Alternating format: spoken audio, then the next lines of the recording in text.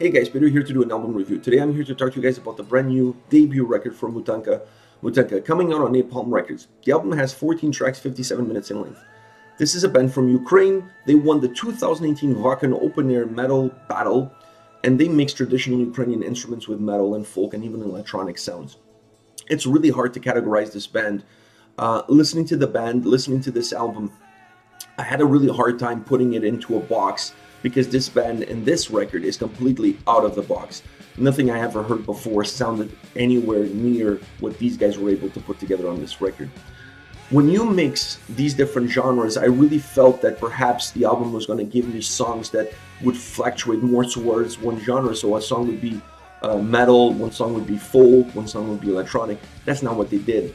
They mixed these three genres really on every single track. Sure, some tracks perhaps the pendulum will fall towards more folk or metal, but all three are present on every single track. When you do that, what you, what you end up with is songs that go beyond their sound. Uh, they paint a picture. They create something vivid in front of you. They're very atmospheric in nature. They're very hypnotizing. And then when you have a vocalist that's able to adjust not his voice, because his voice is absolutely incredible throughout the record, but he's able to adjust ever so slightly the tone of his delivery depending on the momentum of the track. It adds to that. It makes the songs feel even more atmospheric. It makes the songs feel even more hypnotizing. He has the perfect voice and the perfect delivery for a band that has songs this dynamic, this fluid, that change absolutely on a dime. Absolutely incredible album, incredible structure, incredible sound and very unique. I, I, honestly, this album is so unique, it's hard for me to sit here and describe it to you because I've never heard anything like it before. I like the structure of the album. I like that it include a couple of intro tracks, one right at the beginning, one at the middle, then there's an outro track, and those intro tracks bleed into the following tracks on the record, so they become almost part of a track, not really a defined intro track. I really like that as well. Uh, I like the delivery of the vocals, like I said. I like the song structure. I like the dynamic that they give the, the record. Every song is different. You're not going to get two songs that sound the same, and you're also not going to get songs that have the same feel, same structure, same DNA, if you will. They have the same elements. Every song on the record has the same elements, uh, but all of them are, are mixed in differently. Every song has a different recipe, if you will. I like some of the intros that they use more folk, uh, those are Ukrainian folk instruments as the intro of the song. In some cases, they use them as the outro. In some cases, they use them for solos in the middle of the song. Some songs start with a more melodic, almost atmospheric introduction to the track, then becomes heavy. Some songs start heavy, then become more atmospheric. There is a little bit for everybody to have on this record. The thing that I take away is how they were able to create music that feels that goes beyond music, that feels like it's painting a picture, a live 3D picture in front of you that allows your brain to travel with the music, that allows your brain to be captivated by it. It goes beyond being atmospheric. This album is beyond that. That's why I also categorized it as hypnotizing because it really goes beyond atmosphere. This is an incredible debut record from this band. These guys are absolutely phenomenal such a different and unique style, such a different and unique delivery, such a different and unique uh, structure and feel to their tracks. I was absolutely taken back by this record.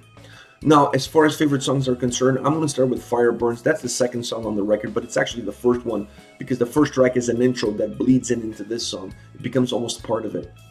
This song starts with a really cool intro with drums uh, and vocals. It really has that atmospheric vibe as the song starts and then the, the, the harshness, the aggression of the music and the vocals kick in, and the song takes a complete uh, 180. It goes on a completely different path, becoming a lot heavier than what that atmospheric intro led you to believe. The track really alternates. It, it continues like that. It continues to alternate that atmospheric balance that you had from the intro with a more heavy and aggressive sound. So this is a song that really feels like an ocean tide. It just keeps coming in and out and it really alternates between these two spectrums. You really get portions of more atmospheric sound, melodic, almost putting you into a trance, and then you get these bursts of aggression, both vocally and musically, that just come at you very heavy with very heavy guitar riffs. Very melodic and heavy guitar riffs. And so this is a song that really alternates between those two. It just gives you a sense of coming and going all the time. Uh, there, there's a fight between these two very different spectrums, but they're at the same time, they're very well integrated together to really have a song that flows extremely well. This is one of my favorite songs on the record. The next song I'm going to talk to you guys about is Air. Now, this this is really interesting because the song is named Air, and the way it starts, it starts with a melodic guitar track that really feels like the wind breeze. Absolutely incredible. The way the guitar sounds, it almost sounds like the wind hitting a wind chime. That's how the song starts. And it fits the title of the track perfectly. This is obviously not by accident, but it's extremely well thought out, well crafted. How they made that guitar sound like the wind hitting the wind chimes. Absolutely incredible. The song has, uh, this is a song that has a riff bass, but that intro really captivates you. That intro is really mesmerizing. But this is a song that has, uh, I would say it's, a, it's more of a, of a metal riff based song, almost reminiscent of the heyday of, of the nu metal era. It has that a lot of uh, similarities to how the guitar sounds on this track with that era of the when the nu metal uh, came into the scene. So there's a lot of characteristics of the guitar sound on this song that reminded me of that. But it's very captivating. It has melody there. It has aggression. It alternates between those two very every so slightly. It, but it's a very guitar-driven track. Perhaps one of the more guitar-driven tracks on the record. The song sets itself apart from the rest of the album and I, to me, it's by that guitar riff. It's very unique. You're not going to get another song on the record that gives you that same sound, that same style, that same feel that this song has. It has a very unique, melodic and heavy uh, riff. At the same time, also a little bit melancholic at times. I really like that. This is a song that really, by that alone, it sets itself apart from the rest of the album. Vocals on this track are haunting.